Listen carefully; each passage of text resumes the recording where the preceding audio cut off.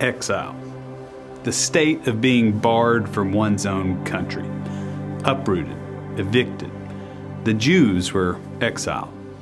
Quite often, actually. When we think of Jewish exile, we often think about the time the Babylonian king Nebuchadnezzar sacked Jerusalem in the year 586 BC.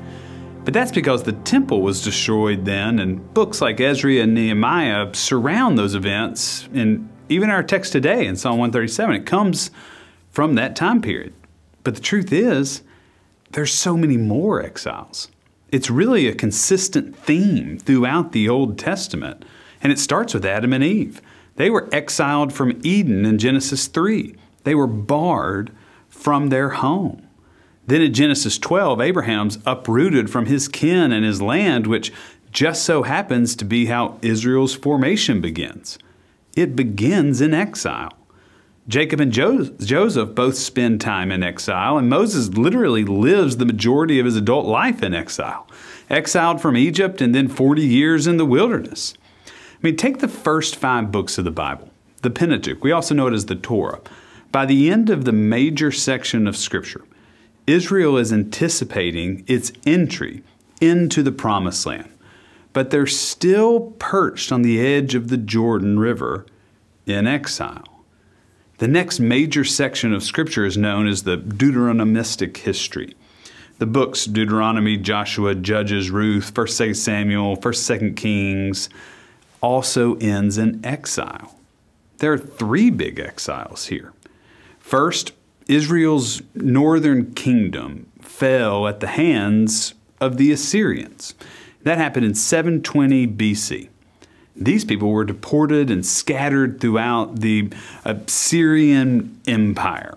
Second, in 597 BC, the political and religious elite of the southern kingdom of Judah, including the prophet Ezekiel, were exiled by the Babylonians. And then, third, in 586 BC, the temple was burned by the Babylonians and everyone was forced to scatter to either Babylon or Egypt. So, six centuries before Christ, there were pockets of Jewish exiles living in both Egypt and throughout Mesopotamia. And they lived that way for roughly 70 years.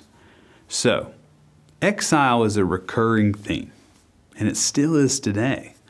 We have a worshiping community in our building every Sunday, the Karen Church. They escaped persecution in Myanmar or Burma. They also are exiled in the sense that they are barred from returning. Now, they could go back, but they're experiencing an exilic period now, a time of exile, a time of separation between their homeland and where they are. This summer, our youth went to serve families in safe houses across North Carolina. I mean, think about that. Families uprooted from their home environment and placed in a secret, sensitive, safe house to protect them. This is an exilic period. They're disordered from their natural order. For every one of us, we experience over and again the spiritual uprooting that life always seems to bring. Order leads to disorder, especially spiritually. Biblical exile is a physical displacement, but it can be a spiritual one too. And that's the part that speaks to us today. Exile is the most ultimate, full onslaught of disorder, a complete displacement. And that's what I want for you to hear this morning when we read Psalm 137. It was written while Israel was in what we know as Babylonian captivity. As you can imagine, it's not a good psalm, but it teaches us a tremendous amount about what happens when we're disordered. Now, keep in mind, this is a cry of people attempting to find normalcy, and their entire lives are uprooted into chaos. Here we go. Verse 1. By the rivers of Babylon, there we sat down and there we wept when we remembered Zion. There's just not much more gut wrenching lines in the Bible than this one. You feel the pain of the displaced Israelites wondering if they'll ever see their home again. I mean, think about what they must have felt. I mean, hear it again. By the rivers of Babylon, There we sat, and there we wept, when we remembered Zion. On the willows there we hung up our harps, for there our captors asked us for songs, and our tormentors asked for mirth, saying, Sing us one of the songs of Zion. How could we sing the Lord's song in a foreign land? It really is gut wrenching. Their tormentors and captors forced them to sing their songs of old, mocking their worship. So the Israelites bury their heads and cry, How could we sing the Lord's song in a foreign land? I feel this. They were broken, completely disordered, and they had no idea if it would get better. So they do what feels natural to us all they turn their sadness into hate. They offer a scathing rebuke of it all, hoping to sway the God of their knowing to inflict pain and power on their enemies. Look at verse 5. If I forget you, O Jerusalem, let my right hand wither. Let my tongue cling to the roof of my mouth if I do not remember you. If I do not set Jerusalem above my highest joy, remember, O Lord, against the Edom, Edomites the day of Jerusalem's fall, how they said, Tear it down, tear it down, down to its foundations. O daughter Babylon, you devastator, happy shall they be who pay you back what you have done to us Happy shall they be who take your little ones and dash them against the rock. You didn't read or hear that wrong. They pray their enemies and their enemies' children get destroyed. And they want to revel in it. They want revenge. And we can all understand Israel's gut wrenching emotion here. We've been there. So I don't think I've ever told you this story, but I want to tell you one of the worst things that's ever happened to me in my life. It was the darkest, possibly the darkest season of my life. I was a freshman in college. Now, some of you know, but I don't know if I've ever talked about this, but I played baseball uh, when I was at Belmont University. One day in practice, I was at the plate. The pitcher threw a fastball high and in. I rolled my shoulder into the pitch, but the pitch kept rising. At the last second, I did the thing you absolutely should not do. I got scared, I jerked, and I lifted my head. As I turned to get out of the way, my head lifted just enough and exposed my left eye. The rising ball hit me square in the face. It was an out of body moment for a second. I remember seeing the ball on the ground and blood just dripping from my face and then everything went dark. I fell to my knees and I passed out. It ended up just being a tiny little scratch right here, but just to be safe, I went to Vanderbilt Hospital for an x ray. And sure enough, my orbital and zygomatic structure was fractured in multiple places. The doctor said I was going to need reconstructive surgery. And I remember asking, what happens if we just let it heal on its own? And I remember the doctor saying, well, your eye, it sits on your orbital. Your orbital is cracked in multiple places. The weight of your eye and on the shattered bone will eventually fall into your cheek. So I had the surgery. I was out for the remainder of the season and obviously the year. I couldn't practice for months. Recovery was awful. I couldn't even carry things. I was completely disordered. I almost went blind, too. I have what optometrists call a pit, a half a millimeter from the center of my orbital.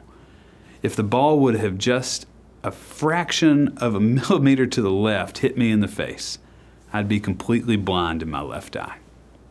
But I'm not. Order, disorder, reorder. I'm fine now. The bone is strong enough and infused enough with titanium that I'm okay. But the left side of my face, my orbital, cheek, And nose, it's all titanium. Order, disorder, reorder. And you have these moments too, these moments of real disorder divorce, surgery, death of a loved one, getting laid off, seasons of depression or anxiety, changing majors or even schools, struggling financially, quitting a job, family problems, or just even personal concerns. There are millions uh, of different things that exile us into the land of disorder. And if we're not careful, our brokenness can easily slip into anger, which can slip into hate. I went through all of that freshman year of college, and I can feel even today the rage in me. I bet it felt a lot like what Israel feels. And this is the tell that you know your life is disordered. It's when you hate, when you create dualistic worldviews, when you resent and you want revenge and you rage. These are clear markers that something's wrong. You're disordered. You're consistently feeling and playing the role of either the victim or the victimizer. And actually, both lead you into disorder. Which, to bring Jesus into this conversation, what is mesmerizes me about Jesus, it, that more than anything really, is he never creates victims, nor does he ever play the role of victim he was never emotionally or psychologically disordered. He was physically and socially displaced by his family, his friends. I mean, he was murdered by the people he thought loved him. But he never created nor claimed victimhood. He withstood the trap of falling into that lostness and hatefulness that comes with disorder. Now, this is not true for Israel. They are completely disordered. They were both the victim and then they prayed to be the victimizer. They were utterly disordered. And they have a lot to teach us today. When we move into disorder, we are not ourselves. We're altered. We're different. We're a shadow of our true nature. We're broken. Israel in Psalm 137 was broken. So, what can we learn from all of this here? I hope you see Psalm 137 as a cautionary tale and that you'll do your best not to fall into the trap of victimhood. And let's never become the victimizer either, because that's what our disorder wants us to do. So, how can you avoid it? Well, like we said last week, first, we need to realize that our disordering can have a purpose and a path for us. It's leading us out of something that is no more, and it can lead us into something new. But we have to first include in order to transcend. Now, here's the second thing we need to then give our pain to God. We need to see that God didn't put us in this disordering, life did. But we can get through it together. And God is right here with us in the disordering to help. Don't turn away from God, turn towards God. God walks through the valley of the shadow of death with us and even puts people and places into our lives to help. So don't blame God during this season or put God as the victimizer. God did not do this thing to you, life did. Perhaps even you did. If anything, God is constantly trying to help. At least this is true for Israel. In the midst of their disorder, God sent prophets to help with their disorder and to reorder. But that's next week's sermon. Today in Psalm 137, in the midst of the Babylonian captivity, Israel is still very much suffering from disorder, and it shows you may be disordered now too. And that's okay. There's hope. Israel eventually comes out of it. If you let yourself process the grief that you're in, you will experience something better too. It will get better. It may not be till later, But you'll move from disorder to reorder when you include in order to transcend, and then you offer your pain to God. It is not easy, but it's the path we take if we want to move from disorder to reorder.